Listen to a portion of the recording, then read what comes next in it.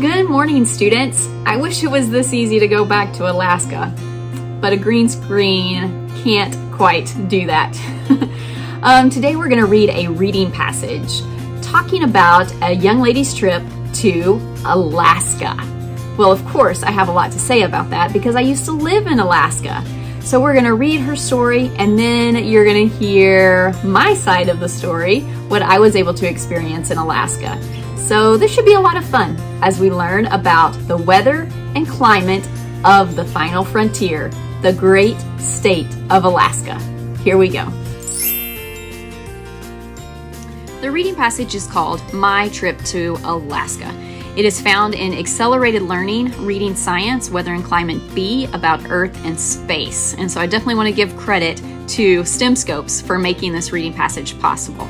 Now, of course, there's going to be additional pictures and commentary by me, Mrs. Bright, because I love Alaska, and it was my home for a few years.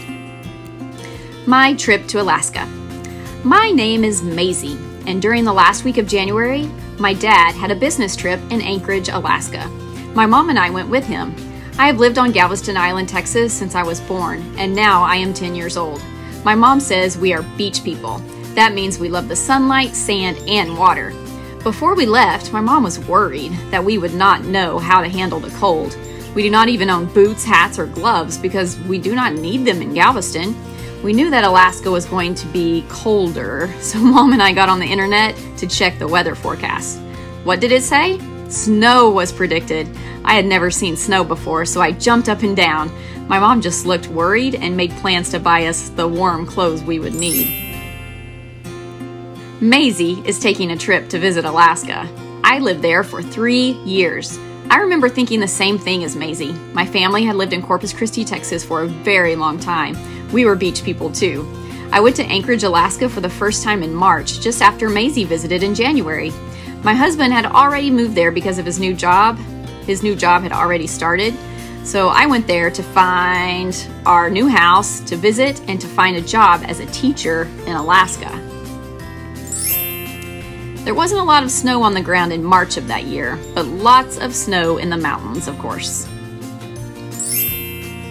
We drove to Portage Glacier and I saw my first Alaskan bear. it wasn't real though. This is Mrs. Bright, me, standing in front of Portage Glacier. And I'm standing on Portage Lake, but thankfully it was frozen at the time, so I didn't fall through. The weather that day, the temperature was about 25 degrees Fahrenheit or negative 3.9 degrees Celsius. When we got on the airplane, the pilot introduced himself and then gave the weather update for Anchorage. He said the current temperature is 27 degrees Fahrenheit. Snow is falling, although it is not expected to be heavy. The forecast for the nighttime low is 7 degrees Fahrenheit. This is all pretty typical for this time of year. I looked over at mom and she was already shivering. When we left Galveston that morning to head to the airport, the thermometer outside the house said it was a balmy 68 degrees Fahrenheit. That is the kind of weather mom loves. For my part, I just could not wait to see snow and wear my new boots and gloves. I sat in the window seat, and as we flew across the US, I saw snow capped mountains for the first time in my life. When the pilot announced that we were landing, I peered eagerly out of my window, trying to get a glimpse of the snow on the ground. I could see it piled in heaps on the sides of the landing strip. It was beautiful. I had a great time staying outside as much as my mom would let me. It was so cold that the hair inside my nose froze. Even I had to admit it was nice to come in for some hot chocolate every once in a while. I could not stay outside all day because there are only about 8 hours of daylight in Anchorage in January. That is because the city is so far north. Dad said we might be able to come back in June. Then sunset happens about 2 o'clock in the morning and sunrise is about 2 hours later.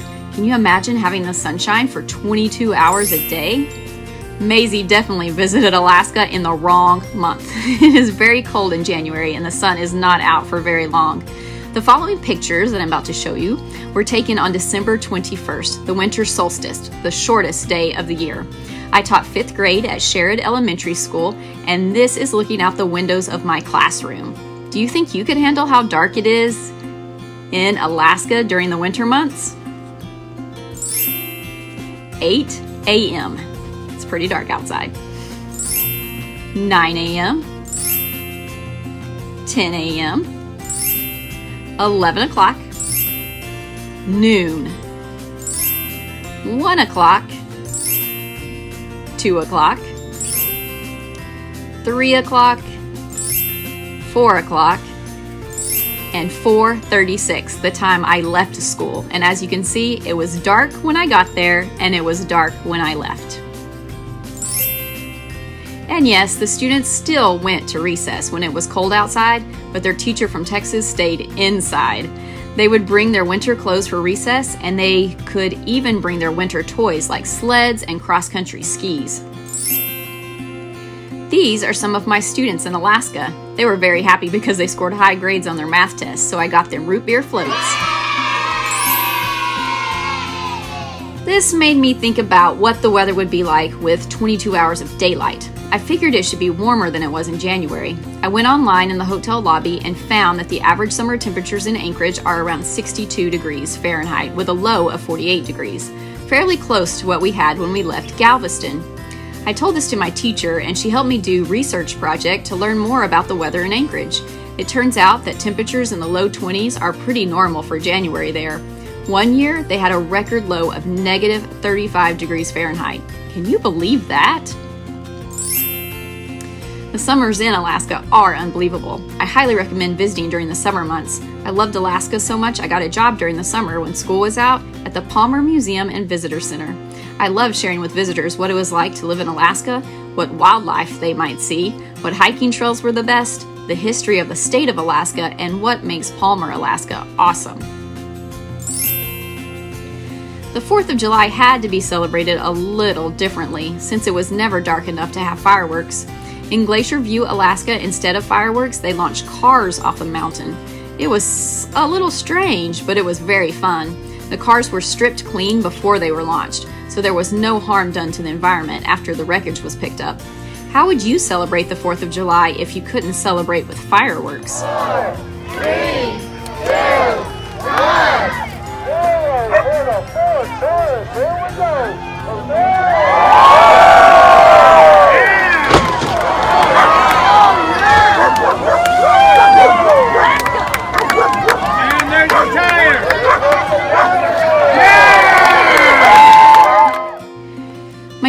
told me that scientists, called climatologists, keep records of all kinds of weather data. In fact, the data collected over many years tell what the climate is for a particular area.